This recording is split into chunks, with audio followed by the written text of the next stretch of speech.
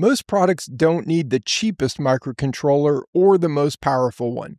Once you factor in development time, debugging, tooling, and the cost of fixing mistakes later, both extremes can end up costing you more than you think. What most products need instead is a microcontroller that gives you the most bang for your buck. And when I say bang for your buck, I'm not just talking about unit price and raw performance.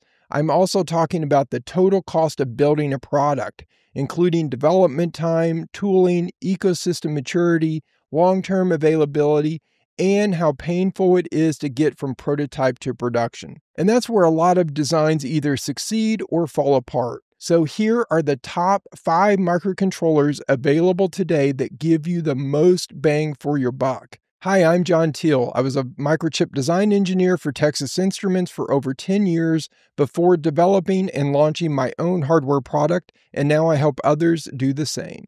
Okay, let's get started with number five, which is the GD32V from Giga Device. So, the GD32V is a RISC V based microcontroller family aimed primarily at cost sensitive designs. It earns a place on this list because, in the right situation, it delivers real value that ARM based parts can struggle to match on price. Although you've probably never heard of them before, GigaDevice isn't a small company, and they actually ship massive volumes of flash memory and microcontrollers. So, with the GD32V, you get the expected peripherals for this class of product, including GPIO, timers, ADCs, SPI, I2C, UART, DMA, and in some variants, USB or CAN bus. Now, from a functional standpoint, it covers most control and interface needs just fine.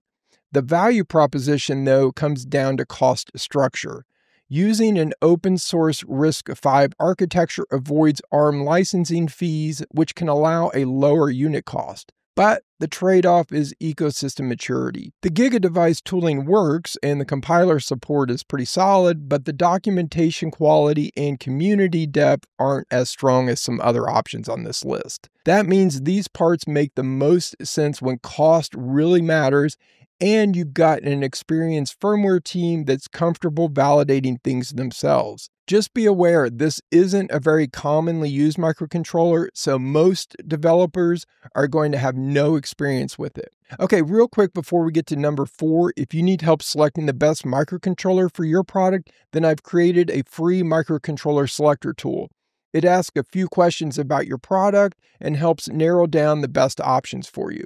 The link's in the description below, or you can scan this QR code right here. Microcontroller number four is the NRF52 series from Nordic Semiconductor. So, if your product needs Bluetooth Low Energy and it's battery powered, the overall value of the NRF52 is extremely hard to beat. One big reason for that is the Bluetooth radio is fully integrated and Nordic has spent years optimizing it for low power. With it, you can achieve extremely low transmit and receive currents compared to most other BLE solutions, which is why these parts show up so often in battery powered BLE devices. Now, from a unit cost standpoint, the NRF52 isn't cheap compared to many other microcontrollers.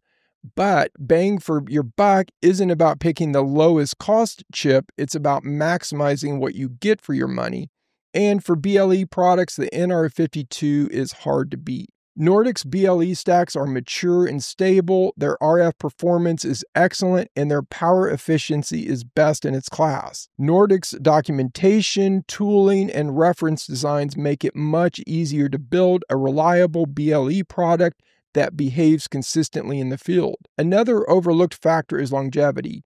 Nordic parts tend to have long product life cycles and stable software support, which matters if you're building a product you expect to ship and support for years. If Bluetooth isn't a core requirement for your product, well, the NRF52 usually doesn't make sense.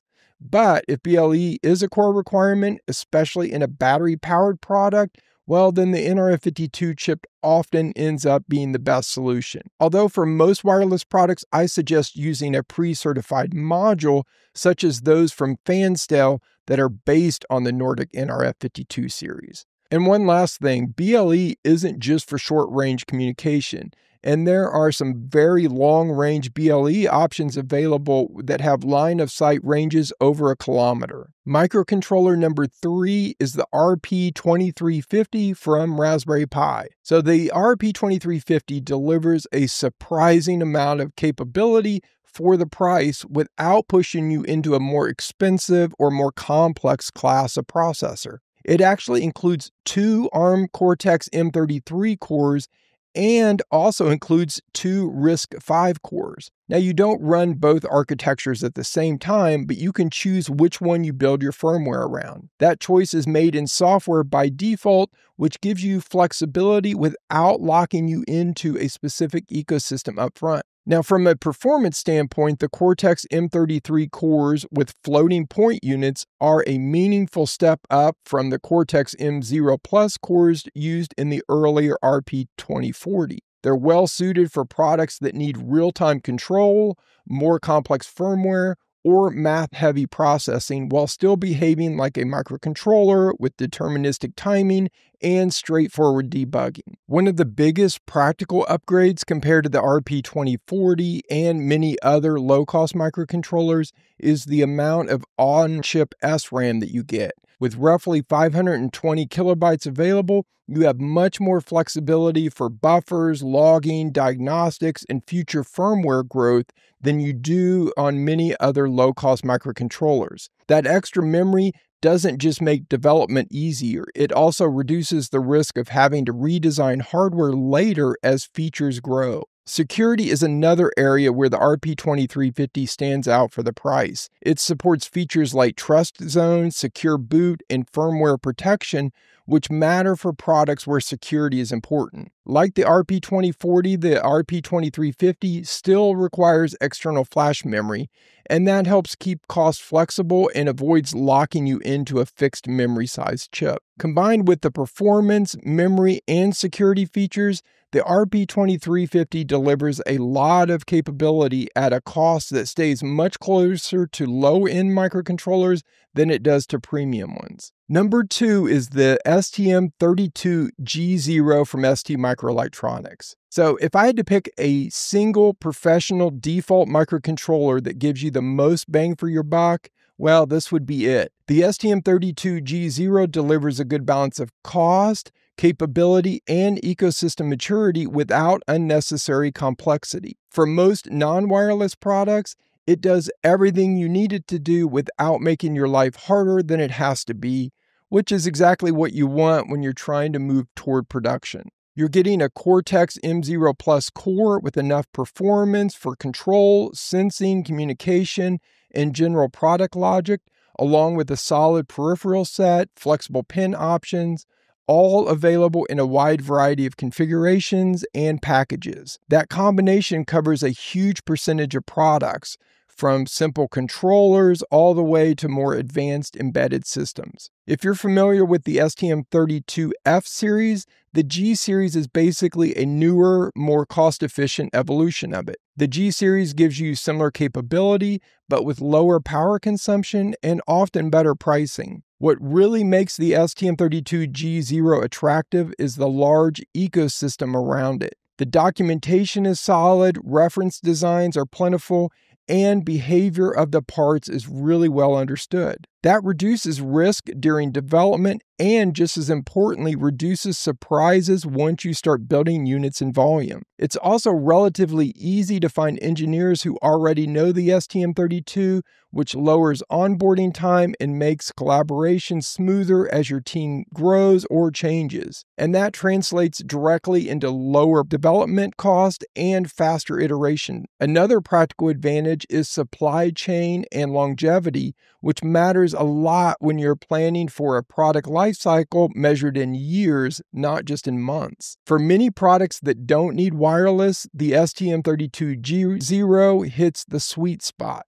It's not flashy, but it's stable and well supported, which is exactly what you want when you're manufacturing at scale. Don't forget that microcontroller selector tool I mentioned earlier is linked in the description if you want to try it out. All right, microcontroller number one that gives you the most bang for your buck is the ESP32S3 from Espressif. This earns a top spot for a huge range of products because it packs a lot into a relatively cheap chip. You're getting a dual core processor, flexible peripherals, plenty of memory options, and integrated wireless all in a single chip that's widely available and well supported. If your product needs Wi Fi or maybe Bluetooth, the value of the ESP32S3 is really hard to argue with. Due to its popularity and low cost, it's also pretty common to even use the ESP32 even in products that don't need Wi Fi or Bluetooth. Many developers already know the platform, understand the tool chain, and can move quickly without switching ecosystems.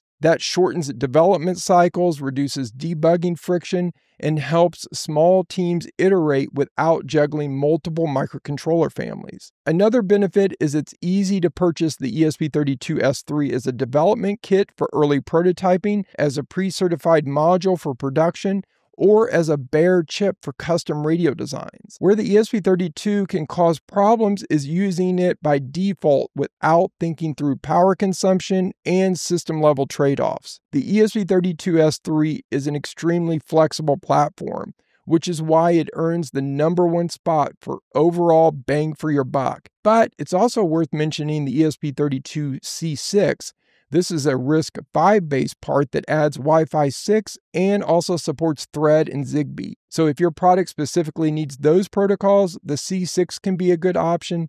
But for most products, the ESP32S3 remains the safer pick. If you want help making decisions like these and avoiding expensive mistakes as you move from prototype to production, you can get support through my Hardware Academy or my private mentoring program. And if you found this video useful, the next one you should watch is this one here, where I review the most powerful microcontrollers available today.